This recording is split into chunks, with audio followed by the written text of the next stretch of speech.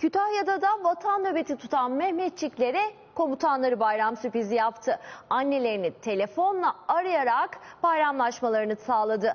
Askerlerden biri annesiyle konuşurken bakın nasıl ağladı. Anne nasılsın? İyiyim paşam sen. Sağ ol. Bayram mübarek olsun anne. Ellerinden öperim. Senin de Evinden uzakta, vatan nöbetindeydi. Telefonda annesinin sesini duyunca sesi titredi, gözlerinden yaşlar döküldü. Sizi de özledim. Ellerinizden öperim. sesin çok güzel. Hepiniz Allah'a emanetsiniz. Kütahya Hava Er Eğitim Tugay Komutanlığından nöbet tutan askerlere komutanları bayram sürprizi yaptı. Ne zaman aramayı düşünüyorsun? Komutanım nöbetim bittikten sonra aramayı düşünüyorum. İyi bayramlar. Son!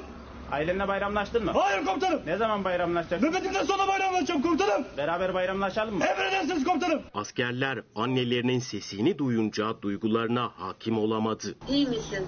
İyiyim anneciğim sağ ol sen nasılsın? Paşam. Sağ ol anneciğim.